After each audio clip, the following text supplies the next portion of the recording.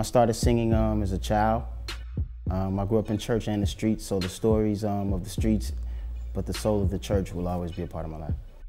Being from Chicago helped my career in some of the most tremendous ways, in such a way that I had to keep it in my name, BJ the Chicago Kid.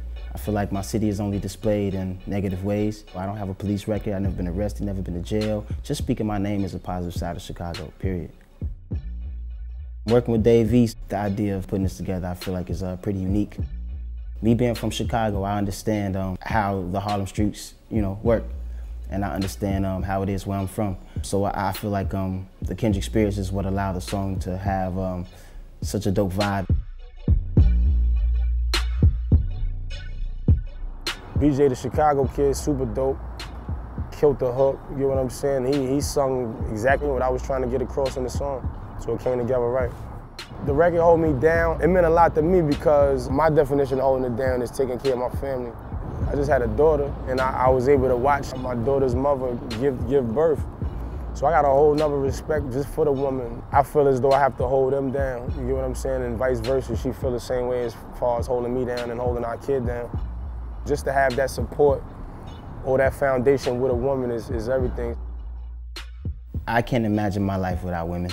From my mother to my grandmother, I have all nieces. My sister-in-law that I call my sister.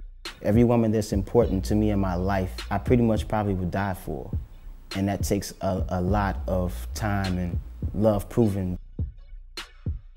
How I feel about the compound is um, it's like the hip hop Pee Wee's Playhouse. You should always have places that can, you know, kind of trigger the, the inner kid of you creatively. I feel like you could just look around this place and find some of the coolest things to be inspired from. And I feel like that's what um, that's what life should be about. I love the environment at the compound and make me make good music. I just feel like you're at home, you know what I'm saying? I feel like I can record in here all day.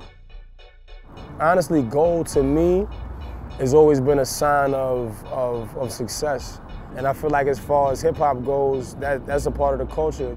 Gold itself is uh, simply precious, man. Um, it takes a lot to earn it, and it's a lot of fake gold as well. Everything represents something strong in the hip hop community, and um, gold is definitely one of, of the top tiers, man.